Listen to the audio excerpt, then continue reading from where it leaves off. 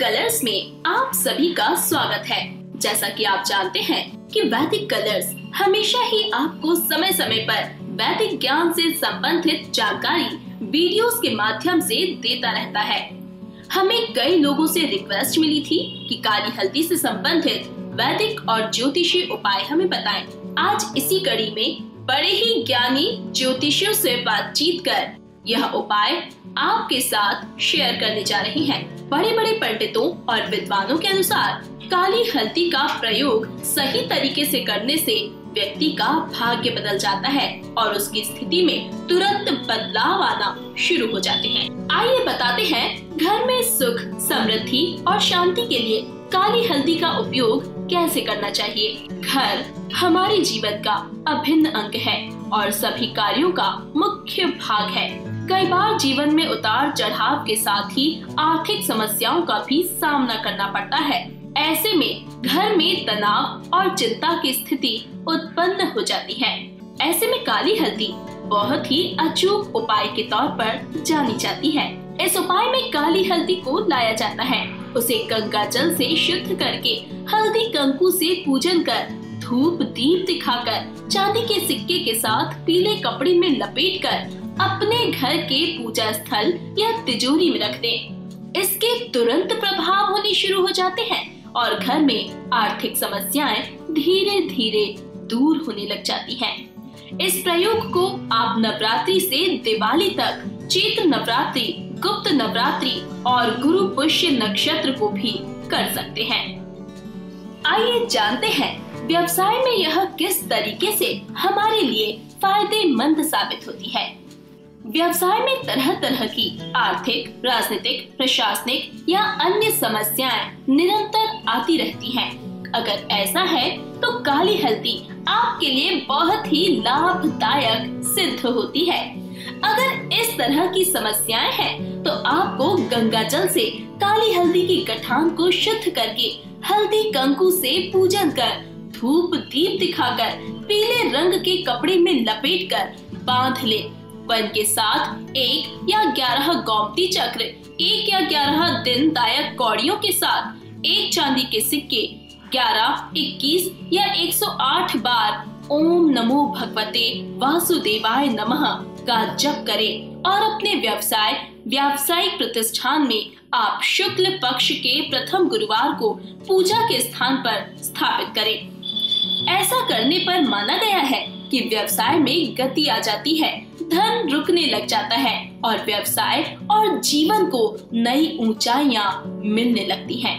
अगर आपका व्यवसाय फैक्ट्री से जुड़ा हुआ है या फिर कोई दुकान है जहाँ पर रुकावटें आती हैं, तो आप काली हल्दी को पीसकर केसर और गंगा जल मिलाकर बुधवार के दिन कार्य करने वाले स्थान मशीन या फैक्ट्री की मशीन पर उसका स्वास्तिक बनाते या तिलक लगाते हैं तो कार्यस्थल पर आने वाली बाधाएँ भी तुरंत दूर होना शुरू हो जाती हैं।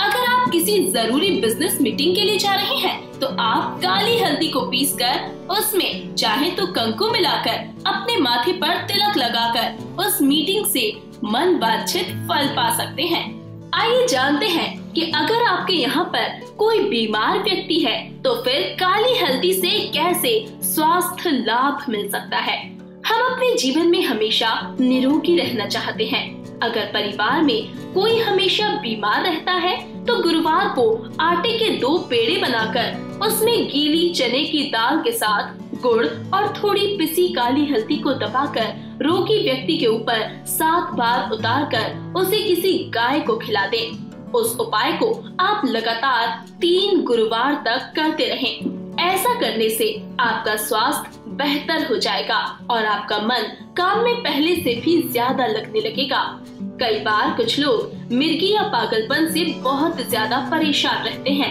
ऐसे में किसी अच्छे मुहूर्त में काली हल्दी को कटोरी में रखकर लोबान की धूप दिखाकर शुद्ध करें। तत्पश्चात एक टुकड़े में छेद कर धागे में डालकर माला बनाकर उसके गले में पहना दे और नियमित रूप से कटोरी की थोड़ी सी हल्दी का चूर्ण ताजे पानी से सेवन कराते रहें। इससे बहुत जल्दी आराम मिलने लगता है। आइए जानते हैं अपने जीवन में नकारात्मक शक्तियों से बचाव काली हल्दी से कैसे किया जा सकता है। हम हमेशा अपने घर को और जीवन को नकारात्मकता से बचाने की कोशिश में रहते हैं। इसका सबसे अचूक समाधान काली हल्दी है।